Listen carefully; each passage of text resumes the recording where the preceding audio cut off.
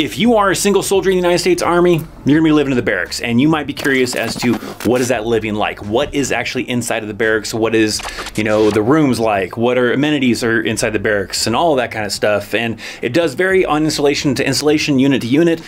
But let's sit down and let's kind of break some of that down so that we have a better understanding as to what to expect from living in the barracks. Let's go.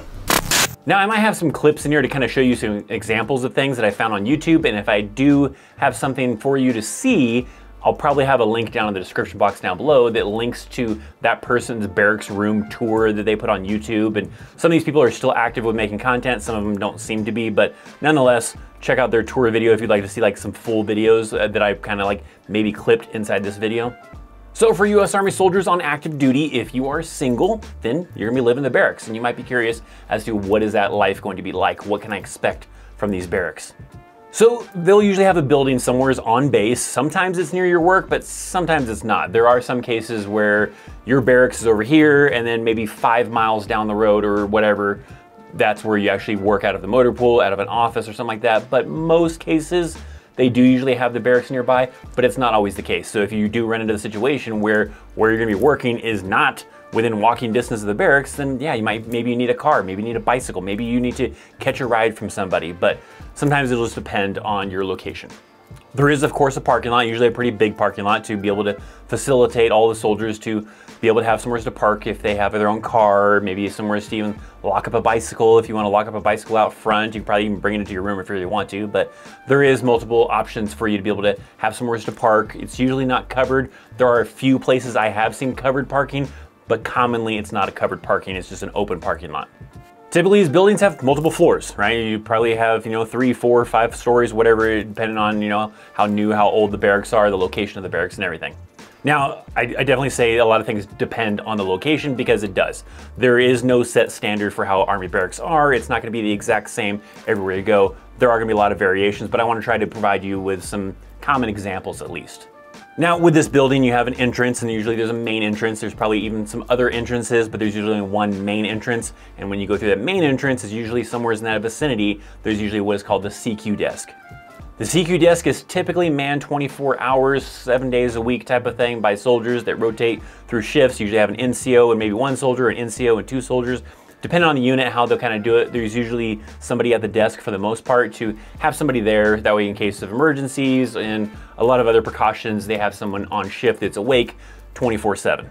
So they rotate through shifts, but with that CQ desk, that's also checking like visitors and checking out, you know, making sure soldiers are doing the right thing. And if someone are getting, someone's getting into a fight in the barracks or the building catches on fire, then they have someone to kind of respond to emergencies. Typically on the first floor is where you might find what is called a day room, and the day room is kind of like an activity room.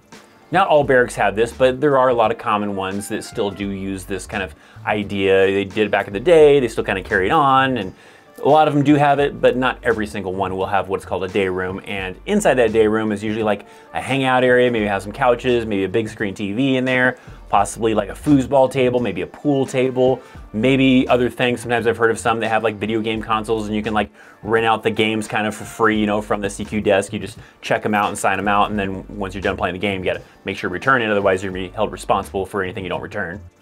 That's pretty common, like sometimes like the, the, the pool cues or the balls for playing pool. Sometimes you have to get that from the CQ desk and then you sign for it. And then that way if something happens, they get broken or missing, you're responsible for that. So that day room is like a little activity room that can be utilized by those soldiers living in the barracks. Now also typically on that first floor, there might be a laundry room. There might also be a laundry room on every floor, but at a minimum, there should probably at least be that one laundry room on the first floor. Now the laundry room isn't something you have to pay for. You don't have to put quarters or tokens or anything inside the wash machines and dryers. It's free to use for the soldiers that are living in the barracks. So you can do your laundry, wash them, dry them. You have to probably use your own laundry soap. They might have a vending machine for you to buy laundry soap sometimes in the laundry room, but for the most part, they don't provide that stuff to you. You're typically supposed to like stay with the laundry with your your clothes. That way they can't get stolen or whatever. You usually have signs saying you got to stay with it. And if they find clothing under, unattended, then they're gonna you know, collect it or put it in a bin or do something with it. But for the most part, a lot of people don't do that, but a lot of times you're supposed to do that. You're supposed to stay with the laundry.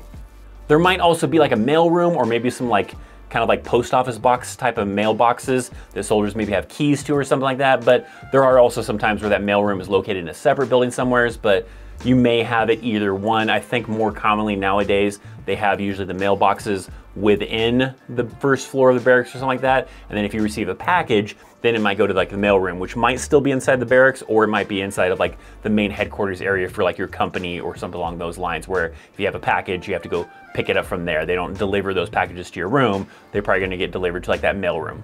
And then also on the first floor, there's probably some barracks rooms, right? We're gonna talk about the barracks rooms here in a second, but you have also on the first floor possibly some barracks rooms, and then the other floors are probably nothing but barracks rooms.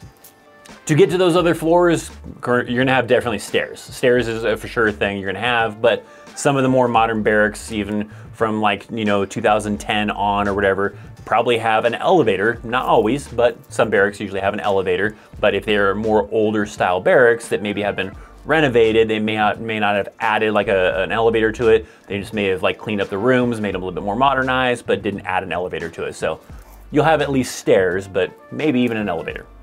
Now with the multiple floors, you might have it where there's like different wings or different sections of each floor type of thing. And commonly they'll have it like broken down by platoons or something like that, or by companies or something, depending on how large these barracks are. You might have it to where first floor is all of, you know, Alpha Company, second floor is all Bravo Company, or however they kind of have it organized. And usually they do kind of segregate like men and women too. So you might have it like down this hallway is all men and down this hallway is all females.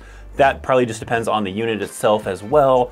Some units are kind of going away from that, and maybe you have it to where you know you have uh, men in this room, and then next door is some females or something. And it, it just really depends on the unit, but commonly they might separate it in some way. Now, of course, we got to talk about the rooms in the barracks, and to get into those rooms, the most common newer kind of barracks and everything usually use like a key card, kind of like you'd use in a hotel to either swipe it, to put it inside of a slot, or put it up next to a reader, and that gains you access to the room. But some of the older barracks may still have keys, but typically they've tried to go away from the keys because soldiers lose the keys where if they lose a, a key card, they can just rekey the card and deactivate the old one, where if they lose a lock, then they probably have to have someone come in and replace that, that doorknob with the lock system and everything like that. So a lot of the barracks usually have key cards nowadays. Now, when you open up the door, it may vary based on location, older style barracks compared to newer style barracks, but you might have like a common area and then maybe two doors that one's your door and one's your roommate's door, or maybe a common area and then an open area and everything is yours. There is no roommate kind of situation. It really just depends on the, the, the barracks, if they're newer or older style. So let's start off with talking about that common area, if you have one, what might be inside of it, if it's something that you have to yourself or something you have to maybe share with a roommate. In that area, you might have like a kitchen area. It might be a dedicated like kitchen area or may just be like a corner of that room. But typically nowadays they have full-size fridges, not like it was back in the day with just the small little mini fridges. Now they're usually full-size fridges with a freezer up top and a full-size fridge. Along with it, you probably have like microwave is pretty common. And then in some barracks, they nowadays actually have a built-in like stove type of thing. It's just like a, a hot surface electric one that you can cook on. That's probably pretty surprising to a lot of veterans, old school veterans especially, because there used to be a time when you couldn't have hot plates, you couldn't cook inside a barracks room, so everything you had to make, you had to probably just use the microwave. That's not really the case anymore. Now, not all barracks have these cooktops. There are a lot of the newer ones that do have the cooktops, but those that do not have cooktops, a lot of units are actually allowing soldiers to have things like an air fryer or a, a, some kind of cooktop type of thing that they can plug into the wall. And there might still be units that are pretty strict on that and won't let you have that, but I'm seeing a lot of units that will allow that nowadays. So I know, surprising my veterans, but we've got to move on, you know, and, and, adjust to allow these soldiers to have a little bit more responsibility and trust that hopefully they're not going to burn the barracks down because it's also essential to allow them to build some cooking skills. Me never having anything to cook with inside the barracks made it to where I really didn't learn how to cook for myself. But as far as appliance goes, the refrigerator, the microwave, maybe a cooktop, that's about all the appliances you usually get. You can buy your own, you wanna buy a toaster, you wanna buy some other things or whatever, you can do so, but that's usually the only things usually included with the room. Now in that kitchen area, it probably has a sink, but if it's an older style barracks, you might have to utilize a sink that maybe is attached to the bathroom or inside the bathroom because it might not have a dedicated countertop with like cupboards and everything. If it's more of a newer style barracks, then it probably has that where it has a sink and some cupboard space. But if it's just an older style barracks they've kind of renovated, then it might not have a kitchen sink and you have to utilize the sink from the bathroom. But with the bathroom, let's talk about that. It might have it to where the sink for the bathroom is inside the bathroom itself, or it might be just outside of the bathroom. Typically, the ones that have the sink on the outside of the bathroom, usually those ones that have the two separate doors. That way, if you want to brush your teeth or shave or whatever while your roommate's taking a shower, you can still do so. Where if the sink is inside the bathroom, then you have to wait for your roommate to get down inside the bathroom, showering, go to the bathroom, whatever, before you can utilize those sinks. So commonly, when the sink is outside the bathroom, it's usually because you're sharing a room with someone else. But if it's just yours to yourself, then the sink might be inside the bathroom.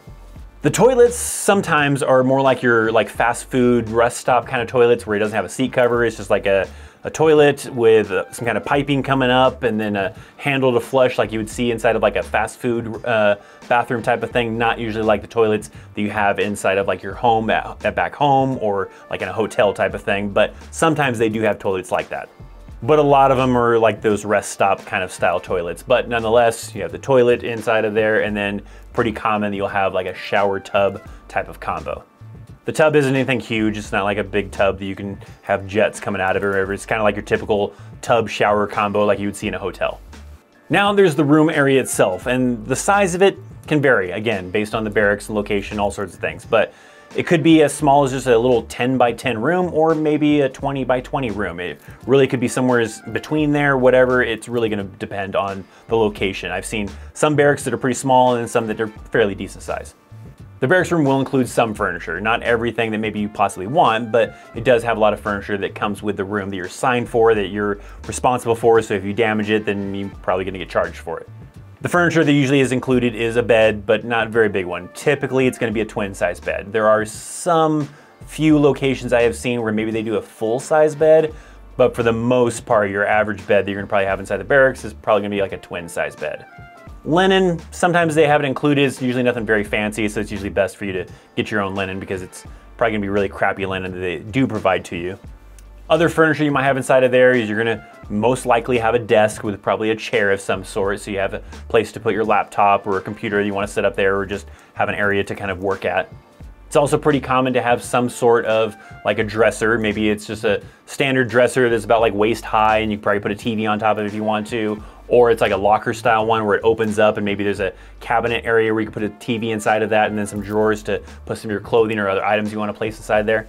And those are really common. There are some locations that might have like a small table for you to eat at, maybe an end table, but your very common items that you're probably most likely to have is that bed, the desk, and probably some kind of like a cupboard type of thing for putting clothes inside of or putting a TV on top of or something.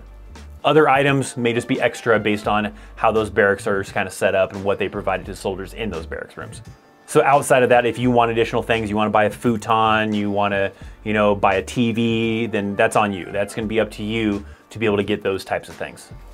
And then of course there's typically a closet. Usually the closet is usually pretty big because they understand you got a lot of army gear and equipment you have to take care of. Then you have your civilian clothing and everything for on your free time to, you know, get changed out of uniform to, to do things off base, on base, whatever you want to do. So they usually provide you with a pretty large closet. Usually like a large walk-in closet that's a good size that you can easily fit all of your Army gear inside of, plus lots of space for your uniforms and your civilian clothing. Now within the barracks, sometimes they have like some free cable type of thing in some barracks, but for the most part, usually you have to get that yourself. Uh, if you want internet, you have to get that yourself as well. There's not usually free internet. That's usually a service you have to pay for to be able to get the Wi-Fi. There's not like a, a set Wi-Fi for the whole entire barracks that's free. You might be able to mooch off of somebody if they don't secure their Wi-Fi or they give you the password, but for the most part, you're gonna have to pay for your own Wi-Fi, your own internet in the barracks to be able to have those kind of special amenities.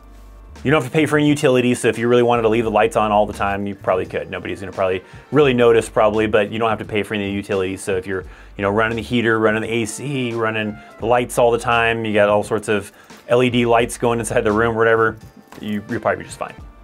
So sometimes the barracks are awesome, sometimes they suck. I've actually seen one variant of barracks, I don't remember where it was at, but they had like a kitchen area, they had a living room area, and then their bedroom with I think a full-size bed inside there, maybe a queen-size bed. So that was pretty awesome, but that seems pretty rare. I've only seen that once, and I have no idea who the hell was lucky enough to get those. Also, usually if you're a non-commissioned officer, you won't have a roommate. You might have a barracks that are set up that do have roommates, and they usually have separate keys for those rooms. You might have a common area to share, and then your room has a key and then that roommate has their own key to access their room that way you can keep your stuff secure or like i said it might be just a big open room that's just all to yourself and you're the only one that has the key to get into that room But in situations where they might have two room kind of setups in those barracks, NCOs might have like a more of a larger one room type of setup, depending on how their barracks are set up. But typically, NCOs do not usually share a room with someone else. Also, you're not gonna have it if you're a male soldier, you're not gonna have a female soldier for your roommate and vice versa. They usually make sure to keep that separated. But sometimes the barracks does suck and sometimes you wanna move out of the barracks and technically you can't do that. Typically you have to still maintain that room and that means, you know, if there's barracks inspections, then you have to still be present for the barracks inspections. You still have to make sure it's staying clean and everything like that. And then if they're doing some kind of, you know, cleanup inside the barracks, you usually still have to participate. But when you're pretty early into the army, you're a young soldier, you probably can't afford to go pay rent off post because you're not going to get BAH. You only get BAH if you're authorized for it, typically if you're married or other certain circumstances where you'd be authorized BAH. Otherwise, if you're living in the barracks and you just don't want to live in the barracks, you're going to have to pay for that out of your pocket and E1, E2 pay, even E3 pay probably isn't going to be enough to be able to do whatever bills you might possibly have like cell phone or whatever and pay for rent and utilities and everything else that would come about.